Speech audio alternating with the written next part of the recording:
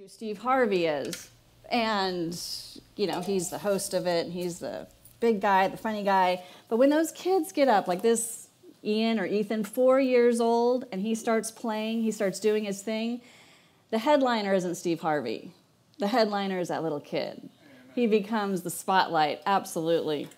The same is the story of Jonah. We've been taking a little detour from the book of John and, and focusing on our book of Jonah. And the same thing we just saw happen here is what happens in the book of Jonah. We think it's a story about Jonah the prophet, we think it's a story about a big fish, but really it's a story about God. God is the headliner, God is the real star in the story of Jonah. In Jonah, we'll find that the character of Jonah, he's actually quite a passive prophet. He's a passive in a very passive role. When God calls, he doesn't want to obey. He wants to stay where it's nice and comfortable and not move an inch. He doesn't want to follow God's lead. Only active thing that he does is in saying no, pretty much to God repeatedly. I don't want to do what you asked me to do. Even his name is passive. Jonah means dove. Now, other prophets like Isaiah, they got the big strong names like God has saved. That's what Isaiah means. Jonah, got dove. He's the dove prophet. Throughout the book, we see that Jonah flees, but God is the one that pursues. We see that Jonah falls, but God is the one that lifts him up. God, throughout the book, is the star. He's the active one in the book of Jonah. He sends Jonah a message. He creates a storm when Jonah gets off track. He commissions a whale to save. He sends Jonah then in person again to show mercy, to initiate with a people who don't want anything to do with him. And he pursues with forgiveness and he shows his ways over and over in his salvation that he continually gives out to the people.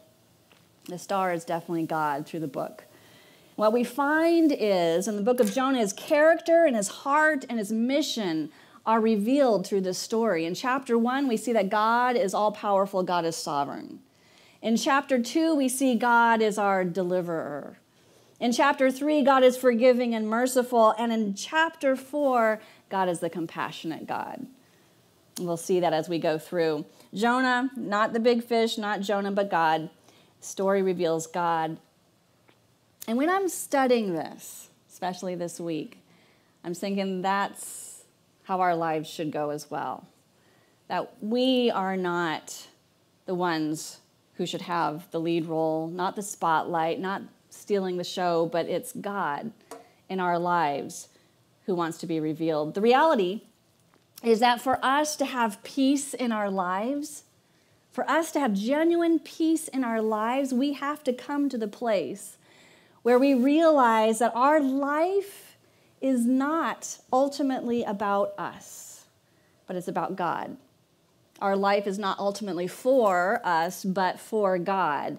His spirit, His purpose, His will, He's the one that needs to be center stage. And when we realize this, when we realize our life is about God and what He wants, then that hopefully will help us to let go of our control and yield to His even in those times of interruptions. We talked about last week those places where He interrupts our life. Our life plan is going one way, and He takes us, He derails us, He interrupts us, and we find that those are really invitations to a more purposeful, deeper life.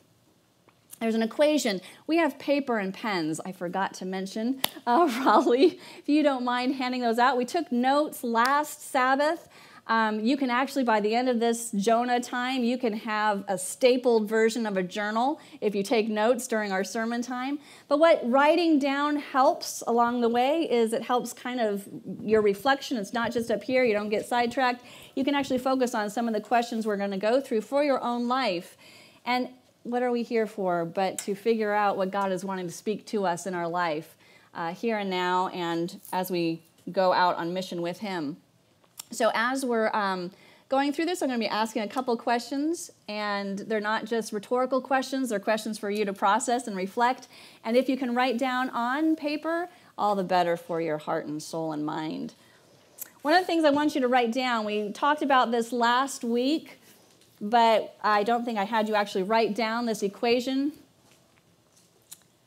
you write on your paper divine interruption, divine interruption.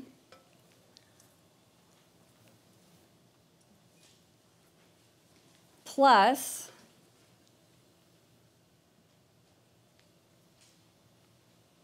your submission or yielding or saying yes, however that fits best for you. So, divine interruption plus your submission equals eternal purpose, significance, eternally impacting purpose and significance. And today we're going to find out that that equals salvation. Not just big eternal salvation, but in the moment now in your life, salvation. So God's interruption plus your yielding to saying, okay, yes, if you want to take me on a detour, if you want to derail me from my plan, if you want to interrupt, I'm going to take that as an invitation that what you're going to bring out of that is going to be purpose, significance, and my salvation in the here and now. We're going to walk that through. So keep that at the head of your paper there. Most or half of the book of Jonah is about Jonah grappling with the concept of God being first in his life. It's him wrestling against it, it's grasping, him grasping to keep control, to keep his title role in the story. He had been given, of course, the gift of prophecy. And he was very glad, very happy to serve God with that gift. He wanted to, to be used by God to help make a difference in, in the people of his world there. He was happy to use the gift that God had given him as long as he was serving in the part of the world that Jonah wanted to serve, and as long as he was able to serve a particular group of people that he wanted to make a difference with. So Jonah's motto might well have been I want to serve God as long as it's convenient. I desire to do his will until it gets a tad uncomfortable. I want to hear from God. I want to hear his word. As long as the message is one that I'm supposed to be passing on to someone else. This is Jonah. And this may very well be you and I. With this spirit, it's, it makes sense then with this kind of view and what we see in the story, it makes sense that Jonah would keep trying to take control and take ownership of what he'd only been asked to manage. He'd been given a gift of prophecy. He decided, I'm going to own that gift instead of manage that gift. It's like a story I read recently, a true story, about this lady who comes out of her uh, store. She's been shopping she returns to her car to find four men inside of it. She drops her shopping bag, she draws a handgun from her purse, and she points it at him and with a very forceful voice tells him, I have a gun and I know how to use it. Get out of the car. And these four guys, they didn't, they didn't wait for a second invitation. They got out of the car and they took off. They ran. She was quite rattled, a bit shaken. She put her bags in the car, got in, got her keys, and she couldn't get it in the ignition. She, was, she couldn't get it, it wouldn't work, and it wasn't working, and it wasn't working. And she realized, like I did a couple weeks ago, her car was four cars over. And she just kicked four men out of their car. So she gets out, she looks around, makes sure there's like, where are they? And she goes over, gets into her car, she drives herself straight to the police department, turns herself in for having pulled a gun on four men, and the sergeant, the desk sergeant, starts cracking up and he's like, Take a look at the other end of the counter. And there's the four men reporting uh, a carjacking by this little lady with, you know, white hair and a gun and no file. No charges were filed in that, in that situation. But this is the lady gets into trouble because she tries to control, she tries to take ownership of something that wasn't hers to control or own. And that's what we do in our lives. That's when we get into trouble when we try to take control of something in our lives, we try to own something in our lives that's not meant for us to control or own. I want you to take a moment on your piece of paper, I want you to list out the things that God has given to you, the blessings that God has given to you. Like Jonah, what roles in life has God given you? What gifts or skills? I'm just going to throw out a couple things here for you to jog your, your get your brain going. What gifts has God given you? Talents, tangible blessings, your house, possessions, money. What has God gifted you in your life with? Relationships, intelligence. Are you wiser than some? Are you not so wise? I don't know if that's a gift. Flexibility in your schedule, good health, creative ideas. Do you have unique kind of goals, aspirations, dreams? Do you have experience? Are you an expertise? Do you have expertise in some area? What are some of the blessings that God has gifted you with, has given to you in your life?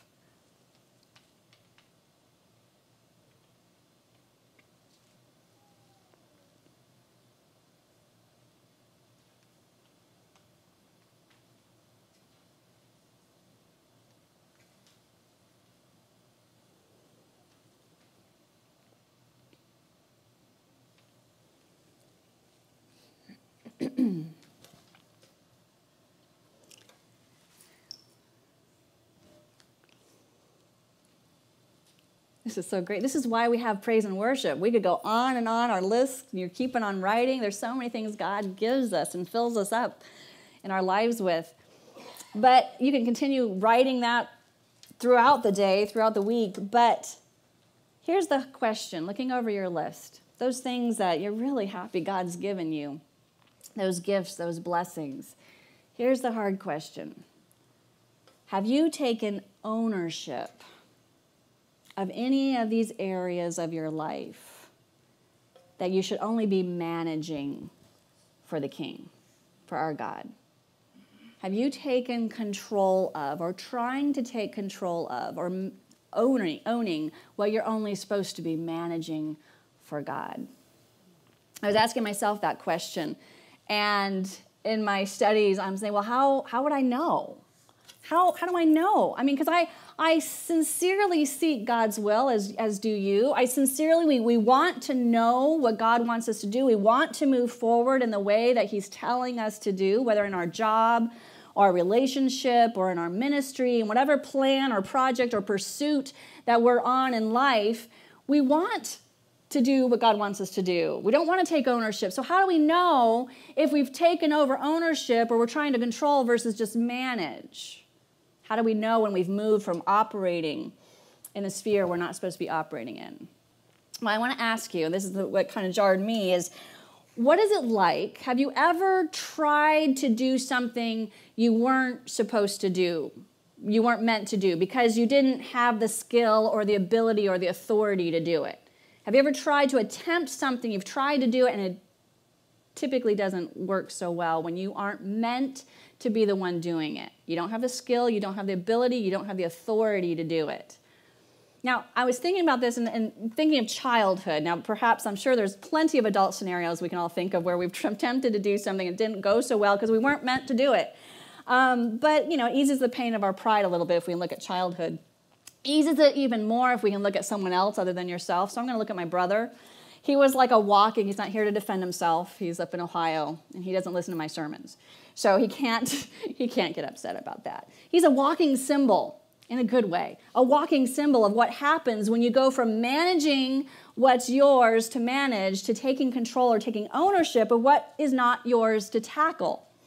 So let me tell you some stories of when he was five or six. We were living in California, and this is just an example we can relate to in our own lives. In California, my brother and I are in the garage. He's, like I said, around five, about, yeah, five, five or six. And way up high on top shelf, my dad, my dad was a coroner, so, you know, dead things was his thing. Um, we had tarantulas in California. We would help them crawl up the wall because they were so cute and fuzzy. And then when we would, they would die, we would put them in, my father would put them in formaldehyde to keep them so we could study them later. And so he had a jar up high on the high shelf, a jar of tarantulas in formaldehyde. And my brother and I wanted to look at them a little closer. So instead of asking the owner, i.e., my dad, to do what he does best to get that jar, my brother decides to become that person and he scales the shelves to get the jar on top and he got it. crashing down on him, crashing down onto the, the floor, shattered, formaldehyde, dead spiders everywhere. That's what we got from him taking ownership instead of managing. When he's five, he was also wanting to be like the teenager that was living with us at the time. His name was Mark, tall, strong teenager that would do chin ups and pull ups in the garage off of these pipes. And so my brother, five years old, wanted to do it too. So he had the guy lift him up to the, the pole, the, the, the, what do you call it, bar up there, and uh, he thought he could manage something that wasn't yet his to manage with his wee little muscles. And so he's up there trying to do a chin up or a pull up or whatever it is, and he slips, he falls, crashes to the cement floor, and now he has a scar to show for that attempt. And one more, he was six years old, different house. He was supposed to be managing putting the dishes away and he had a casserole dish, a glass casserole dish. He was supposed to put it up way up high. Well, he wasn't supposed to do it. He was supposed to get my mom or dad to help him. The owners were supposed to help him put it up, but he decided to take matters into his own hands. Again, he scales the cabinets to put it up. He slips, it slips, it breaks. He slices his hand almost to the tendon, and he has another scar to show for it.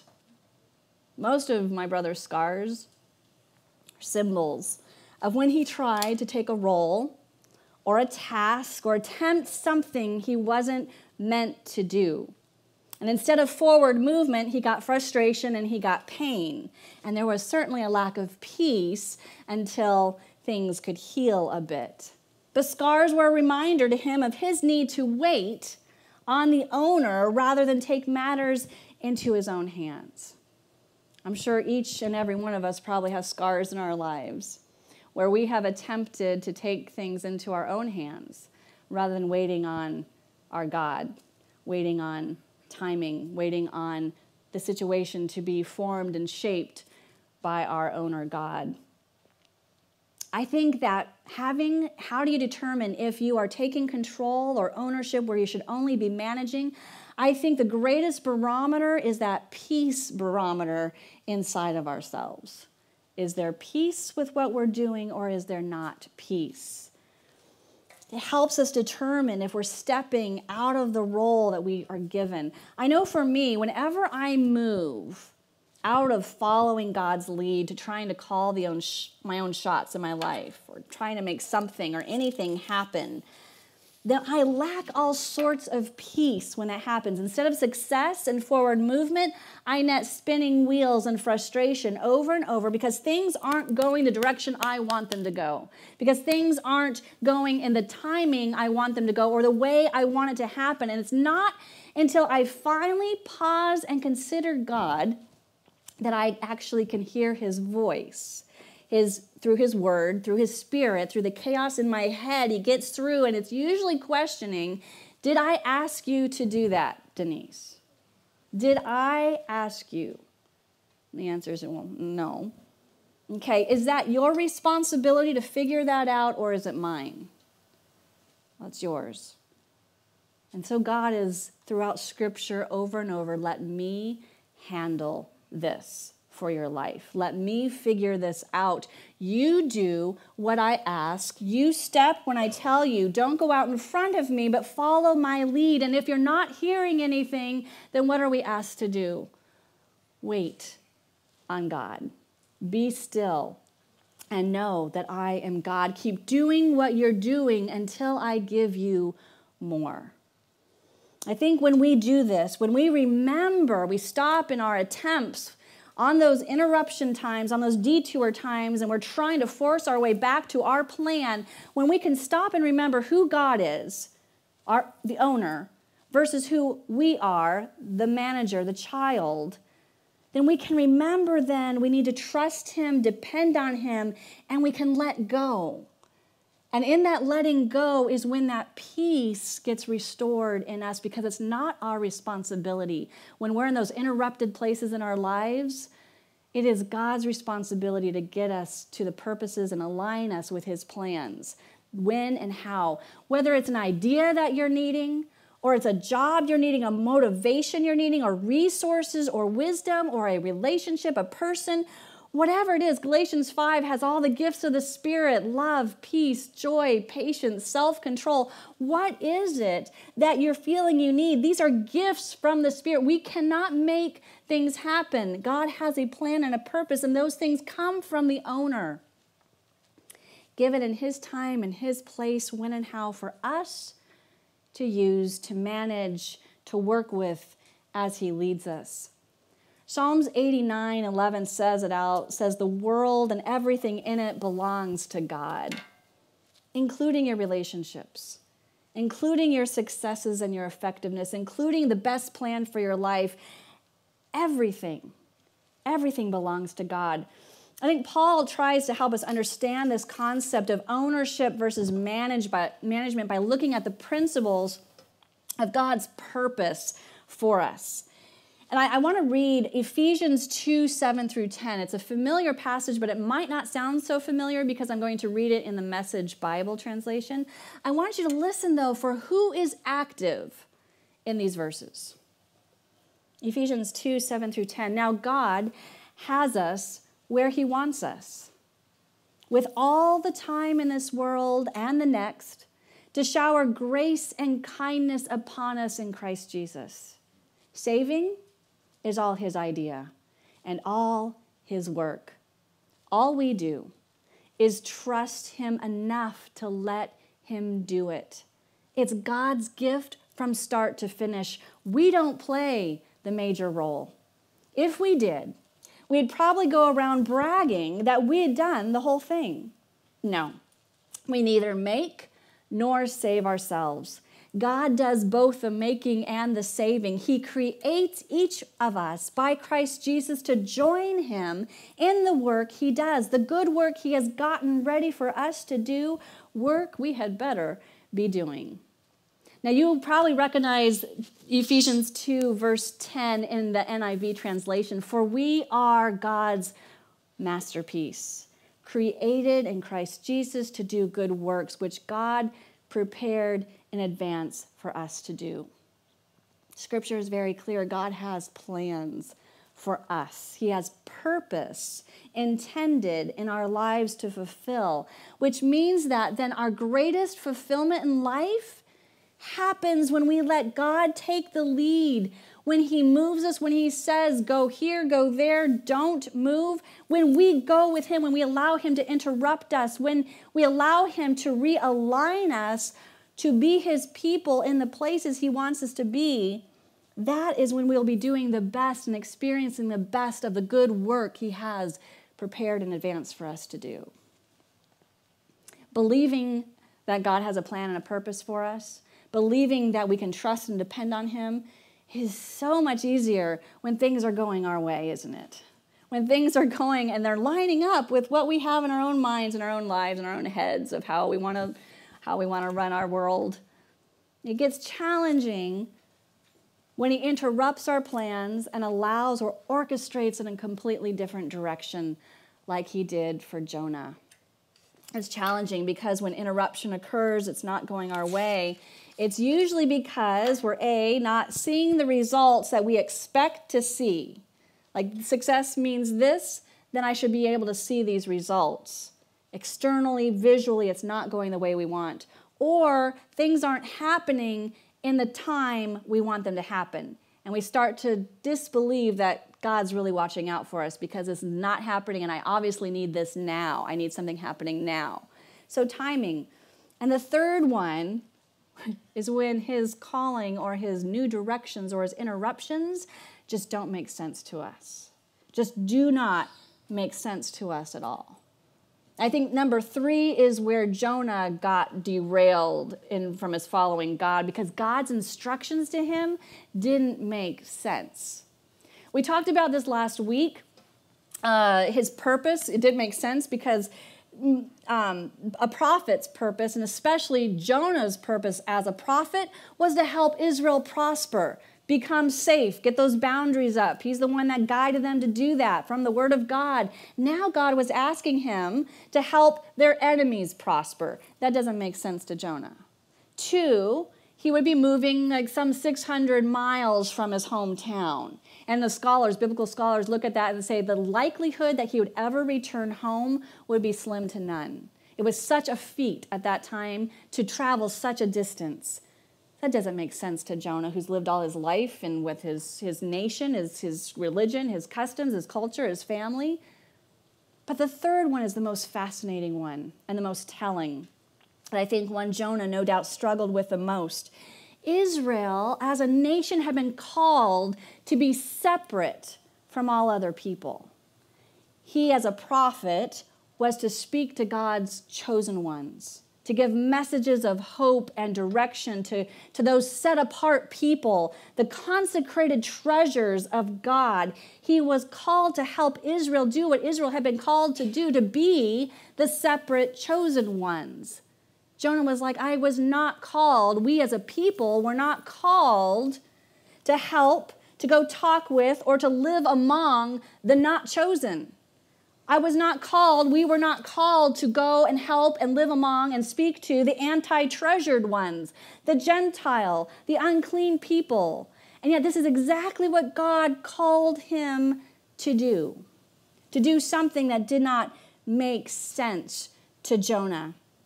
God would want him to continue doing what Israel needed. Surely, what Jonah had the skill to do, what he had the experience doing, surely this is what God would want him to do to help Israel be successful.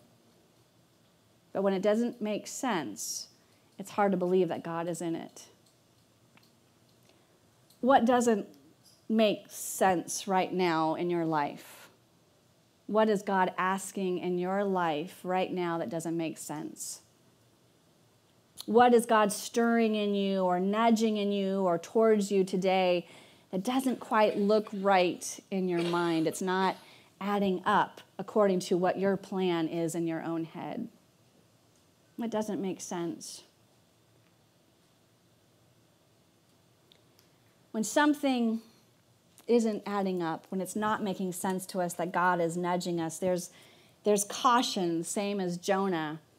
When there's something from Scripture that is clear or God's Spirit in us, and doesn't go along with our logic, it doesn't go along with our, our logical or well thought out plans or direction, it doesn't align with the tried and true methods, it doesn't look like what everybody else is doing or tends to live their life, when it's separate from that, different from that, it's, it's a break from that, we tend to discount it then, and we feel justified in our own running away attempts, whether it's ignoring what we've read, or being distracted, or not following, or doing our own thing, something that makes more sense to us, that we have more control over.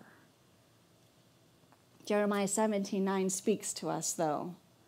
It reminds us that the heart, the heart is deceitful above all things and beyond cure. It's quite a sentence. The heart is deceitful above all things and beyond cure. Who can understand it? Proverbs 28 26 tells us those who trust in themselves are fools, but those who walk in wisdom, with a capital W, wisdom, are kept safe. Now, obviously, this is not a blanket. Don't trust your gut, don't trust your heart, don't trust your feelings.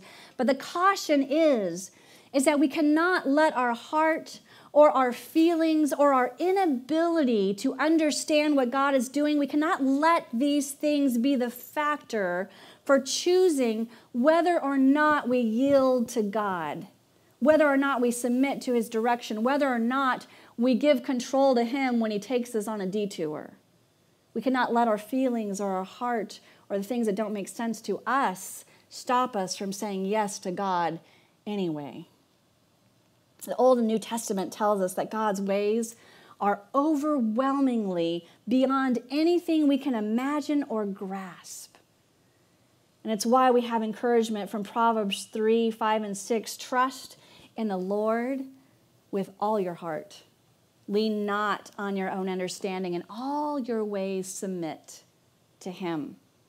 Listen to Him. Seek Him, and He will make your path straight.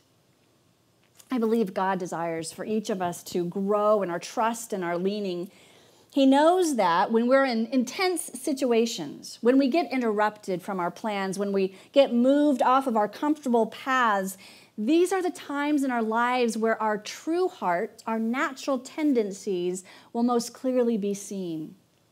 What will we default to? What will we default to? What's our default mechanism? Is it automatically when hard time hits, when we get detoured or derailed or interrupted?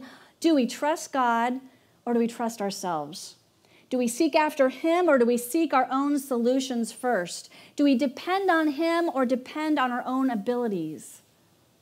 I think what God might do in our lives by allowing, by bringing interruptions, is providing opportunities for us to flex and grow those trusting muscles.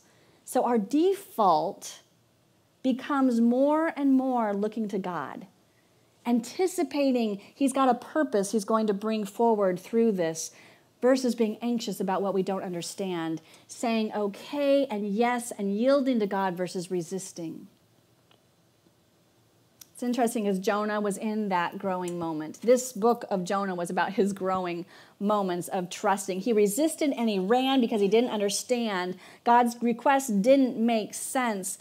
But his request of Jonah was exactly what God needed to have happen to best reveal who he was to the expanding world. God needed Jonah to do what didn't make sense to Jonah. He needed him to do that so God's heart and character and mission could be revealed. The book of Jonah was written about the 4th to 5th, 5th to 4th century BC, and it was intended to be read to Israel, to the nation of Israel. This was after Israel had been exiled, post exile, and this book was written to be read aloud to the Israelites to remind them, to remind them of God's purpose and plan and mission. Most of the prophets' books that are written has the prophetic words that were spoken by the prophets. That's what you read in, the, in the, these prophet books in the Old Testament.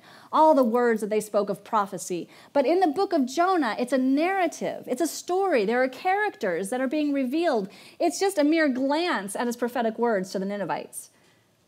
But the main thrust is the characters that are progressively being moved and revealed, God's character and mission most of all. when we get to chapter 3, when we get to chapter 3 is when we see God's full revelation.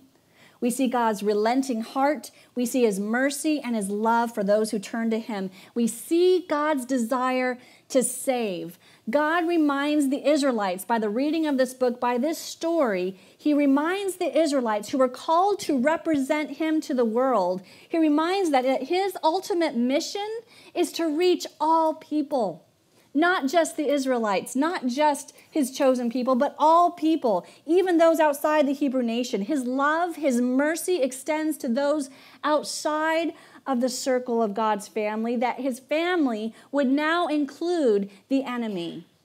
His family would now include the outsider, the Moabite, the Gentile, the non Jew, the Samaritan. If you guys have had a chance to read, Reggie wrote an article for Grace Notes about this very thing, lining out that throughout Scripture, throughout Scripture, God shows us again and again He is for the outsiders to bring in, to be inclusive of all, and to save all. Jonah was a precursor to Jesus, which Jesus makes clear in the book of Matthew and Luke. And in his story, there's a peek ahead at what Christ would fulfill and make clear that salvation was for all, no matter who you are, no matter what your background, no matter your past, your present, or your future.